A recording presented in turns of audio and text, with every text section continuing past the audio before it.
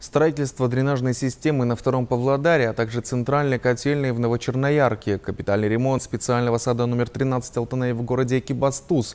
Как выполняются поручения первого заместителя председателя партии Нуротан Баушана Байбека, данные в ходе его рабочей поездки в Павлодарскую область. В областном филиале партии прошло заседание собрания депутатской фракции партии Нуротан и комиссии партийного контроля.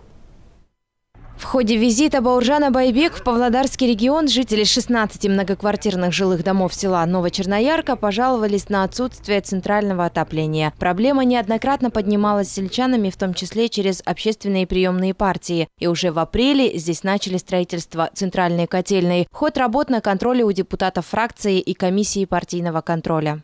Подрядчик, в принципе, неплохой, они уже большую часть работ выполнили и даже хотят в этом году, просят, чтобы вторая очередь этого проекта, то есть то, что запланировано было на 2021 э, год, это подведение к частному сектору, несколько улиц.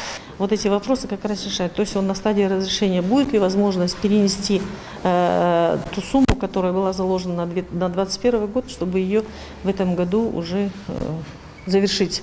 Еще один вопрос обсудили на заседании. Это капитальный ремонт в коррекционном саду номер 13 в Экибастузе. На сегодняшний день 20% работ уже выполнено. По дорожной карте занятости на ремонт сада выделили 138 миллионов тенге. Планируется, что полностью сад запустят к середине сентября. Выложен дамбу из кирпичей, сделаны пожарные лестницы, установлены железные двери. А, готовятся в течение двух недель все пластиковые окна, окна прошло э, согласование отдела архитектуры а, полностью фасад а, детского сада. Он будет очень яркий. Один из проблемных вопросов второго Павлодара – это подтопление домов грунтовыми водами. Чтобы решить проблему, здесь строят дренажную систему. Где-то около 15 улиц второго Павлодара они, э, от этих домов будет за счет дренажной системы строительства вода эта отведена.